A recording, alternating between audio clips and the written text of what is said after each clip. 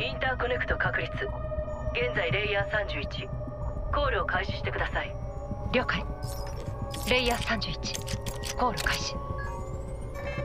エラーコールバックなし。レイヤーを10まで交代。レイヤー10から再度レイヤー33へコール。エラーコールバックなし。レイヤー33コール。